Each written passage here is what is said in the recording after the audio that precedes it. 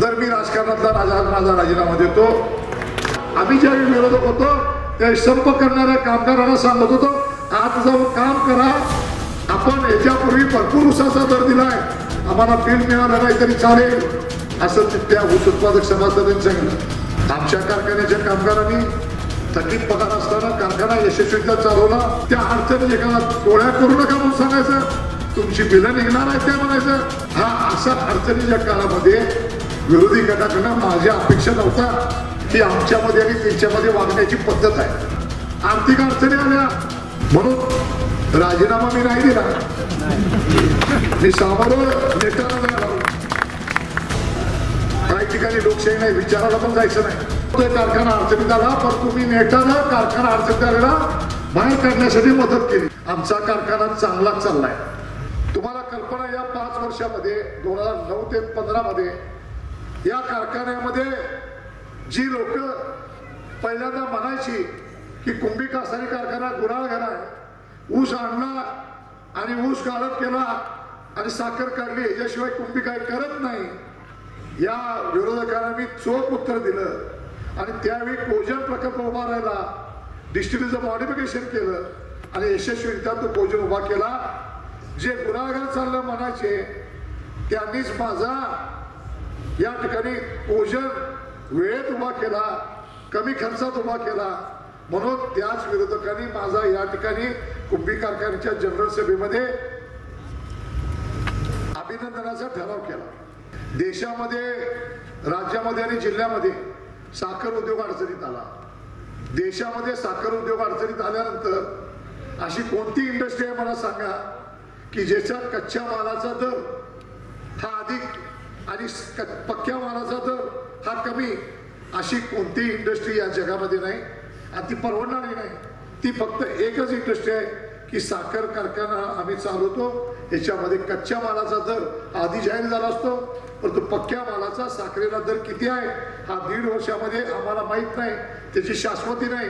आणि असा आमदारात तीर मारून साखर उद्योग आम्ही चालवतो. आणि मग गेल्या चार वर्षामध्ये साखरेचे दर हे उसाच्या दरापेक्षा कमी होते. त्यावेळी साखर उद्योगधंदा अडचणीत आला. साखर उद्योगात अडचणीत आल्यानंतर अनेक कारखान्यांना एफ आर पी देताना तोटे सहन करावे लागले. ते तोटे सहन करून कर्ज काढून उसाची एफ आर पी आम्ही भागवली. ती मी एकट्यानंच नाही. सगळ्याच कारखान्याने. त्याच्यामध्ये भोगावती सुद्धा तोट्यात आला त्याचीही कर्ज झाली. त्याच्यामध्ये बित्री आला. त्याच्यामध्ये पंटीचा आला त्याच्यामध्ये दालम्या आला असेल त्याच्यामध्ये वारण्याचा सुद्धा आला असेल. मग एखादाच कारखाना या ठिकाणी या साखर उद्योगधंद्यामध्ये चढ उतार आल्यानंतर दराच्या स्पर्धेमध्ये साखर दर खाली आल्यानंतर फक्त कुंभीच अडचणीत आला होता का? कुंभी बचाव म्हणजे म्हणायचं आणि मग त्या त्यावेळी कुंभी कारखान्याला ऊस घालू नका म्हणून सांगायचं. त्या अडचणी एखादा टोळ्या करू नका म्हणून सांगायचं. तुमची बिलं निघणार आहेत काय म्हणायचं? हा अशा अडचणीच्या काळामध्ये विरोधी गटाकडनं माझ्या अपेक्षा नव्हता साखर उद्योग अडचणीनंतर साखर कारखान्यात अडचणी त्यानंतर प्रत्येकाला हा धंदा सोसावा लागला. पलीकडे वारणा कारखान्यात सुद्धा आमच्यापेक्षा प्रचंड अडचणी आल्या होत्या. त्यांचं गाळप सुद्धा चार लाखाच्या आत आलं होतं आलं होतं का नाही तिथल्या कारखान्यातल्या सभासदांनी विरोधकांनी सांगितलं सावकार आपण याच्यापूर्वी भरपूर उसाचा दर दिलाय. आम्हाला बिल मिळालं नाही तरी चालेल. असं तिथल्या ऊस उत्पादक सभासदांनी सांगितलं. त्यांच्याही कारखान्याचे पगार तटले होते विचारा त्याला. त्यांच्याही कारखान्याच्या कामगारांनी सांगितलं पगार रेग्युलर पगार द्या थकीत पगार दिले नाही तर चालतील परंतु कारखाना सुविधा आणू आमच्या कारखान्याच्या कामगारांनी थकीत पगार असताना कारखाना यशस्वीरित्या चालवला पण तुम्ही थकीत पगार भागवत आलो. साखर उद्योग अडचणीत आल्यानंतर त्या तापलेल्या तळावर कुंभी बचाव म्हणायचं आणि आपली पोळी भाजून येणाऱ्या निवडणुकीमध्ये कारखाना कसा अडचणीत येईल हे बघून स्वतःची निवडणूक जिंकायची ही कशी ही राजकीय धोरणं तुम्ही आखत होता आणि एका बाजूला आम्ही ज्यावेळी विरोधक होतो. त्यावेळी संप करणाऱ्या कामगारांना सांगत होतो आज जाऊन काम करा.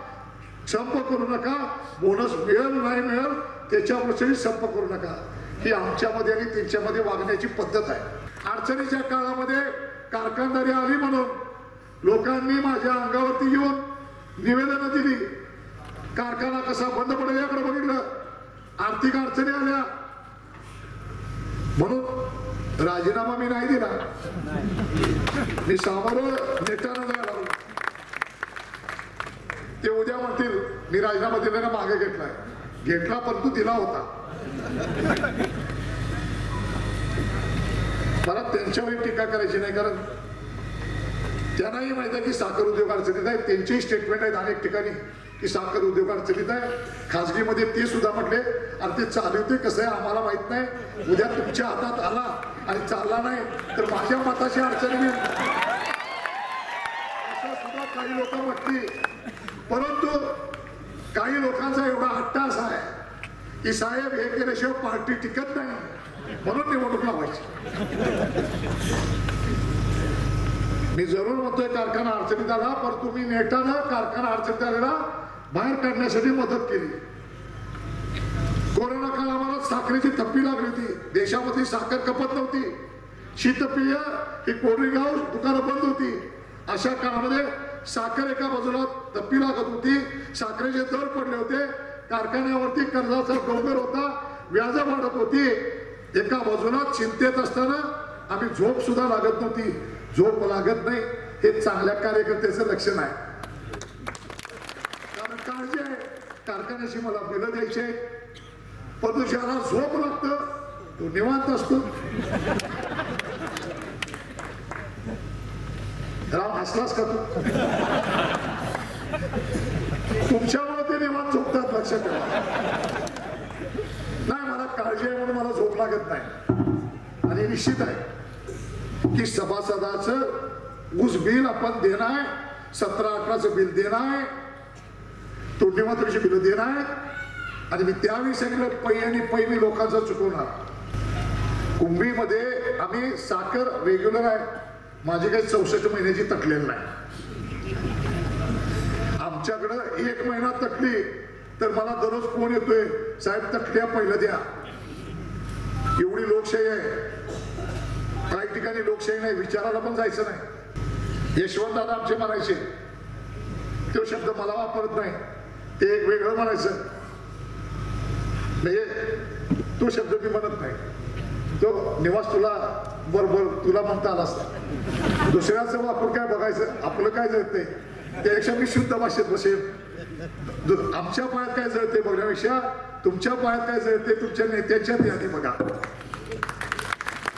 कशाला उगाच विनाकारण आमच्याची आमचा कारखाना चांगला चाललाय. त्यांचा रेकॉर्ड आहे. कोजन करताना विरोध केला.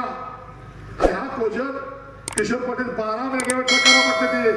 लिहून ठेवा बारा मेगावेट म्हणजे व्हीएस आय सतरा सतरा कोटीचा सांगितला होता त्यावेळी ह्यांचं तंत्रज्ञान काय चाललं होतं?